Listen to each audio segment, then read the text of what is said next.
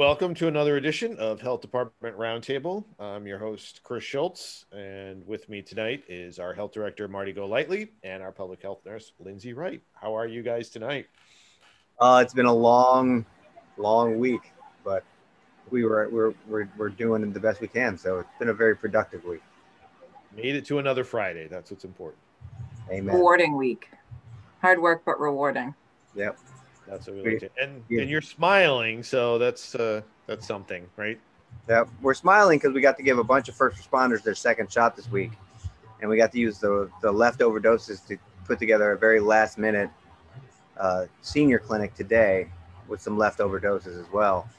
So um, it was a worthwhile endeavor, and uh, the joy on the seniors that otherwise wouldn't leave their house when they come to the senior center for the shot, it's worth it. It makes it worth it. It's definitely hard not to smile after today. and they didn't have to wait in a queue that was 80,000 minutes. Um, oh, we call them as, yeah. as we can. We have our wait list and we work down it. Awesome. So let's touch on that. Uh, we usually like to start off um, checking in where we are with active cases. Yeah, so we are seeing a slight uptick kind of not surprising after vacation week. Uh, we are back to 50 active, which is far better than we were back in December and January, but we are, I am seeing kind of that slow, steady increase, um, which we had talked about before vacation that we would likely see. We have uh, 47 residents quarantined, um, and then the 1,626 were, are, have, cases have been removed from tracking. Excellent. I want to say last week when we met, we were like 35, 36. Yeah, I think we are in the 40s, but yeah. So this is a vacation week bump that hopefully we will clear rapidly. Um, vaccinations. So um, I know that our uh, beloved governor was uh, testifying today um, with that situation. As far as we know, nothing has changed on our level. No, I, I do want to touch on a few things, though, if you don't mind. The uh, we are working very close with our friends at the Brockton Housing Authority, who uh, manage the properties in Abington, uh, our senior housing, and we have a plan to administer the vaccine at those locations, so those residents won't have to go anywhere. We have set up a mobile one-stop shopping, a crew of me and Lindsay and Justin and a few of the other paramedics and firefighters along with the council on aging staff, Suzanne, Amanda, and Amy, uh, with help from the veteran service, Adam Gunn, to go there uh, and give those shots. And we should have, we should also receive shots to from that to do some of the homebound seniors that are just trapped in their house uh, for whatever reasons are. Uh, trapped is not the right word. You know that they're just they're just homebound, and we. The point is, we want to go to them, uh, and we will take our services to their front door uh, and hang out with them. So that should happen in the next week or two. And it should kind of be an ongoing thing as, as long as we can make it. Um, so I encourage everybody to call us if you are if you know a homebound resident in town, so we can add them to our uh, our list of people that need a visit. Um, and we would stress the fact that they need to visit. If there if there's possible that they can come to one of our clinics at the senior center, obviously that's the first choice because you know we're we're staffed and manned and uh, and you know you get all the juice and crackers and cookies and hang out with all the uh, firefighters and cops over there and have fun. But if there's just a reason that you cannot leave your home, we will happily come to you. Um, uh, call Lindsay or call uh, the health department, and we'll, we'll, we'll sort that out. So I'm happy to say that we should get started on that next week. Uh, worst case scenario, the week after that. We'll also should be having a rather large second dose clinic next week. Now I have not received that shipment yet. And I also have not received notification of that shipment as of this recording. So uh, please be patient with us. We are dependent upon the state delivering that vaccine. So as soon as we know, you'll know. We don't. it won't be a secret. It'll be pushed out as as rapidly as we can. And I don't normally push it out the 100% go until I get a shipping confirmation. Because a lot can happen between allocation notifications and shipping. So when I get the shipping, uh, all of the appointment times are the same. Most of the residents have already been alerted.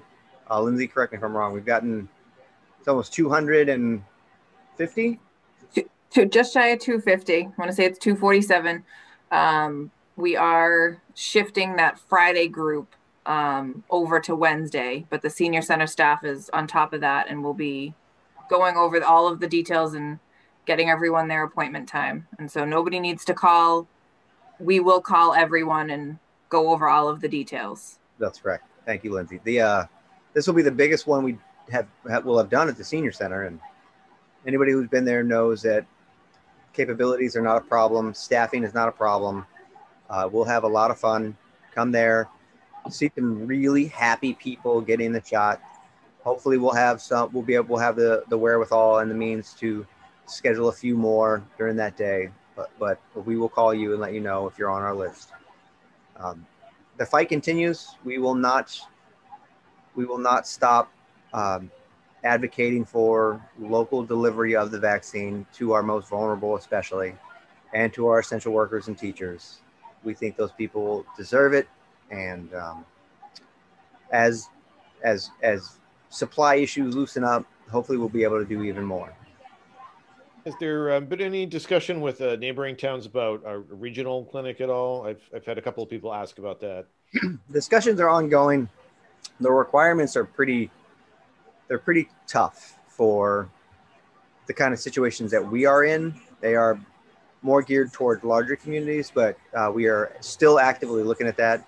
We have meetings next week to see if we can get it to work. It's just, it's just one of those things that's tough to to manage because it's a lot of moving parts, it's a lot of different departments. Uh, you know, because we're not just dealing with one department from one different town, and we're dealing with fire, board of health. You know, there's a lot of moving parts. So, if we can put together a regional clinic, we most certainly will. But I don't want to agree to a regional clinic and then not be able to fulfill our requirements to the state. Um, we will only do it if the uh, if logistically it is prudent to do so. I don't want to under or over promise and under deliver. I, I, prefer the other way. And we know uh, the word is Moderna and Pfizer are both going to ramp up um, production, and it looks like Johnson and Johnson may get FDA approval this weekend. So, yep, the advisory commission on vaccines did approve uh, Johnson and Johnson a few hours ago, which is good. So that means they could take delivery of. Uh, mass delivery as early as next weekend or next week sometime, which is you know a step in the right direction. And that's a one-shot series, which makes it a lot more convenient, especially for large cohorts. Like, for example, the teachers. That would be a really good one to just get all the teachers in, especially with talk of opening schools as early as April. I would really, really like to get that um, to get them done before then.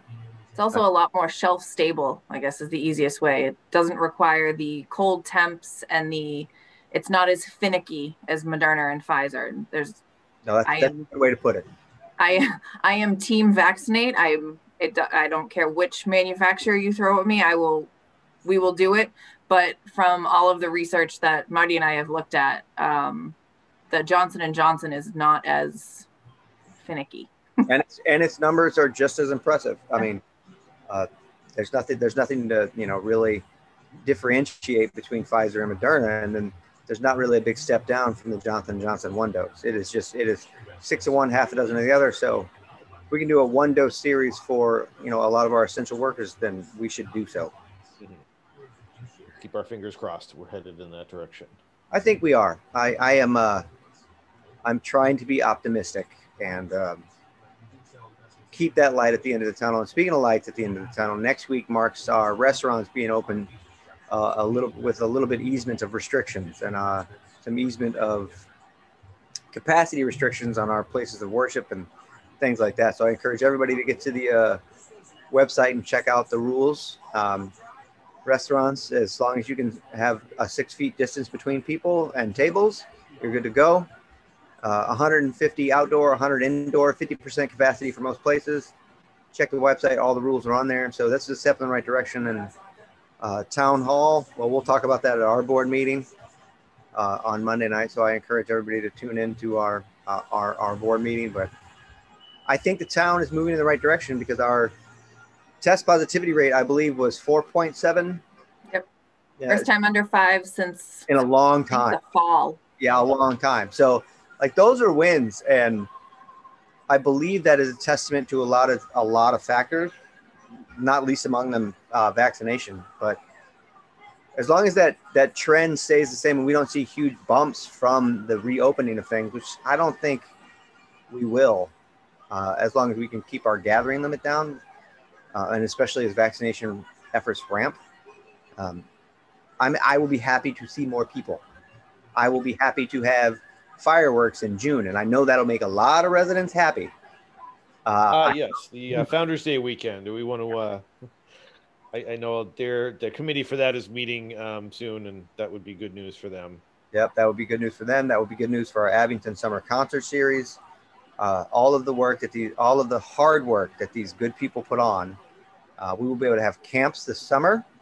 Yeah. So, yeah, overnight camps too. Yeah, yeah.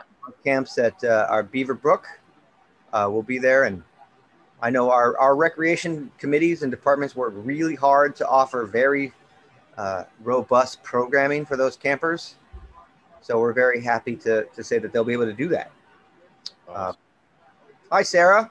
Hey, hi, Sarah. Thank you for joining us. We just talked about teachers and um, the Johnson and Johnson dose uh, and how the easement of restrictions.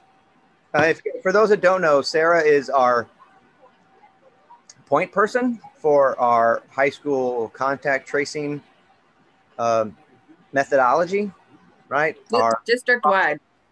District wide. District wide. Except for that one hiccup we had in October.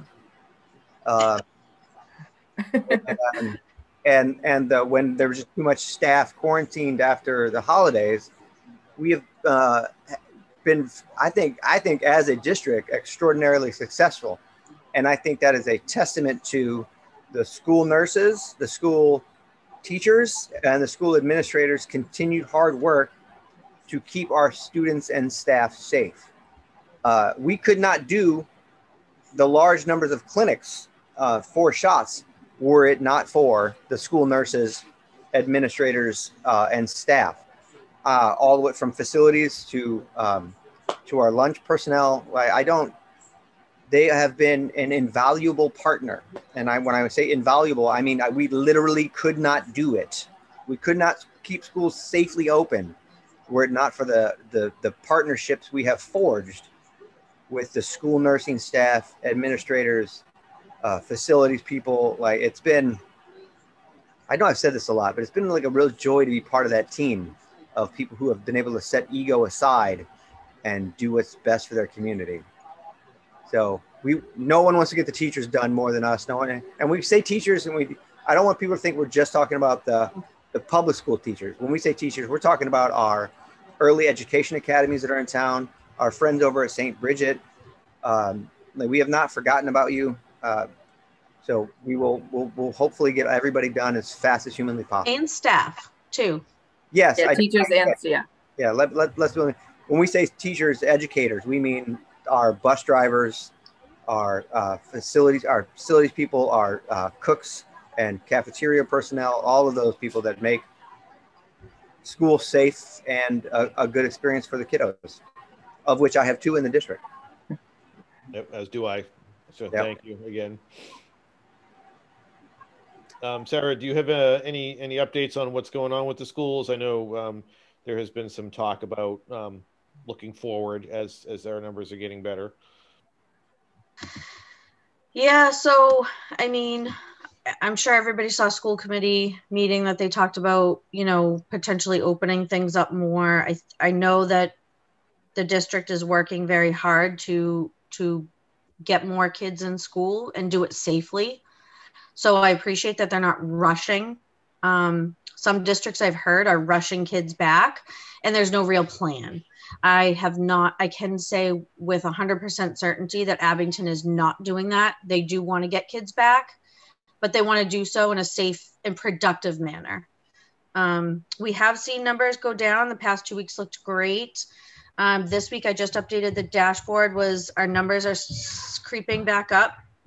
Um, the number of people in quarantine are lower than than they have been previously but I think due to the vacation, travel, all that stuff, we are starting to see an uptick in um, positive cases in the school. Right. We discussed that earlier. I, want to reiterate Sorry. that uh, Sarah's dashboard uh, does not just is not just for Abington residents. There will be some because of some of our personnel who don't live in Abington but work in Abington. Great. The numbers might not be Correct. right. Yeah. Yep. So yeah, that so uh, the the vacation bump is real. Uh, we, we are we are we are actually we are able Yep. to see it. Just one of those fun scientific facts. Not fun. One of those interesting scientific facts. we are trying to like keep an eye on the cases that we are seeing and i know marty and lindsay do this anyways but non-abington residents like teachers and staff that they may not get the info we're trying to see if it was related to travel or not um, from what we've seen so far i mean it's still early to tell from travel but it seems like most of the ones we've seen so far were not necessarily from traveling. More so like people just kind of letting their guard down hanging out with a lot of people um you know home contacts. I think it's a little early for us to see the travel positives yet probably this week we'll start seeing them. Yeah, We, we will track it as close as, as closely as Mhm. and even the non-abington like teachers staff like marty and lindsay have been great and instrumental in in helping us to make sure because they don't always hear from their town's board of health um you know or health department or any you know sometimes they don't even get a call from the ctc so marty and lindsay have been so generous and helpful in in making sure that even our non-abington you know staff um, are getting the accurate information able to get back in a safe safe manner and timely manner well. They they are family too. They get they should get it. absolutely absolutely we appreciate that What else, Chris? What do you got for us on this exciting but tired day? Tired day. Um, well, I did not receive any viewer questions this week. I guess that's a good thing, right? Yeah, yeah, that's good. We um, and just a a, a reminder, be people I know. Uh, I know it's cold outside right now, but we're headed into spring, warmer weather. Uh, daylight savings is next weekend, so we're just all going to have to remember to be extra vigilant. Um, Oh, real quick. I know I'm going to mention this a couple Fridays in a row now. St. Patty's Day. Listen, I get it. Believe me, I get it.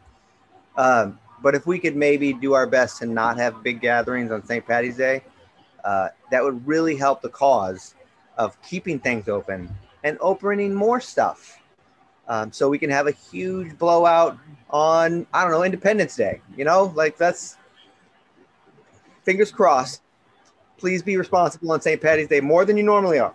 We have said it from I don't know how many times, and I will continue to say it that if you know we sit and say, please stay home and don't do this, and if we, you know, listening is great, but if someone has questions as to the rationale of why we're asking this, please call our office and talk to us. I will explain all of it. We don't, you know, we don't want blind obedience. Question it. That's great, but please call and ask the questions. Um, we say stay home for a reason. We, uh, you know, we, Oh, we I'm can going to stay home. I will. We will. We will lead by example. yes. that- but yeah, we and, and I'll remind people like sometimes people ask the board of health. These people here, not not the board of health, are the ones to ask because they're the experts. but if but if their point of contact is you, you know how to get them in touch with us. Absolutely, that would So we're you know, Sarah's awesome at this, Marty's great at this. I I'm doing my job. you're killing it. And so but you know I've, I've i've always been taught to explain the reason why. And everyone knows you know the what the rules are. But if they have questions as to why we ask them to do these things we're happy to go over it.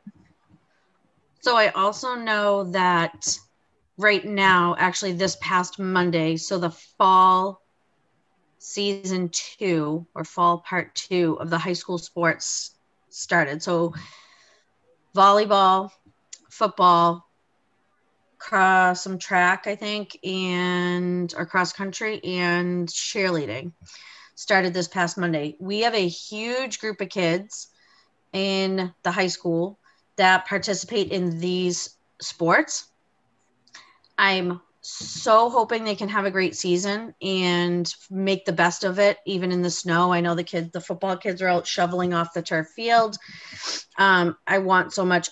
I I'm hoping that we can get through without any incident. And that's the thing. It's even more reason right now if they want to continue with the sports that we need to make sure that, you know, if people aren't feeling good, they're staying home. Any close contacts, they're letting people know so that we can um, you know they don't go to practice and and risk exposing anybody else. Because as we've seen with other sports one one positive case can can take a team out for two weeks. So we want them to have a successful and safe season and be able to to have their season and salvage it. So we just ask that people come to us if you have questions. Or you're not sure? Should i go to practice? Should i not go to practice Mr. Serino, the athletic director, is very well versed. Alicia Reed. Um, you know, we also have kind of talked about, you know, we have the rap, you know, the rapid antigen testing. If people aren't feeling good, we have an opportunity to get people tested right off the bat. So there's lots of resources, and we want Members, to have a successful season. Members of your school uh, community, not just not residents, any just anyone. Correct. School school, school related right. take advantage. School related. Yep. Yes. That if you don't know where to get tested. If you don't know where to get tested, call us. Call us. But but Sarah can handle all of the rapid antigens. Yes, I am only the school. This is my. yeah, we want kids to be out there playing sports. Um, yep. Yeah. I had to we, oh, we, have had we've had a lot of thinking about that, and I think the best thing is for the kids to be out there playing sports. Uh, Absolutely. Yeah. It was cool seeing all the football players on the field the other day. I had to drive down down there, and yep, it was it's it's a good look to good, have everyone. The positive uh, outlook, right? And it's I easy mean, to say you support the team. Now is the opportunity to actually support the team by being yes, absolutely. Yeah. Being careful. Uh, before we go, Chris, can I just say a big thank you to everyone who's been helping at our clinics, all of the volunteers. We have a very robust MRC, which are Medical Reserve Corps, that is independent of the state's MRC. We, we have put it together ourselves. Uh, and a special thank you to Mary Hickey, who is a, a, nurse who also runs the Abington Food Pantry, who has been at every senior clinic that we run. Mm-hmm. Uh, hasn't missed an opportunity to volunteer. So thank you to her. Uh, Alicia. Uh, who am I missing? Caitlin. Uh, I, there, there's so many. I can't name every single one of them, but like uh, the library, some of the librarian staff have been able to help us. Uh, Heidi, all of you. We just want to say thank you to all the volunteers, to all the firefighters, to all the paramedics, uh, all the people who are taking time off of their actual jobs mm-hmm. to come and help uh, get a shot into a senior's arm so they can get back out into the community or so they can get back over to the senior center when it's time to play bridge or pinochle. Um, so thank you to all the volunteers who worked that. Uh, thank you to the senior center staff for being so welcoming and so helpful. Uh, They've been incredible. Absolutely could not say anything but nice things about those people. I don't I don't think people fully realize the hours and yeah. the struggles that they're putting into that. So thank you for all the staff that really help us make it.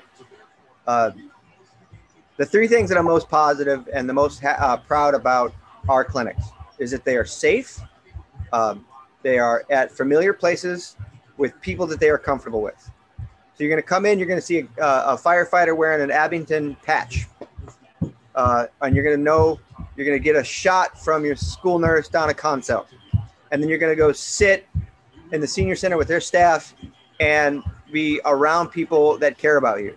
Uh, safe, familiar, and comfortable. Those are my the three things that I am the most proud of, other than the team that is actually executing it. So thank you to all of the people that are that are helping us over there. It means the world to us that you are willing to take time out of your schedule to come put these things together. And make sure you give yourself a little pat on the back. You, Marty, and Lindsay have come, you know, along with Justin Silva, come up with this amazing plan that has just been flawless. And every week it just gets better and better. So thank you guys for doing all the hard work. I can promise you it won't be for lack of effort. Yeah.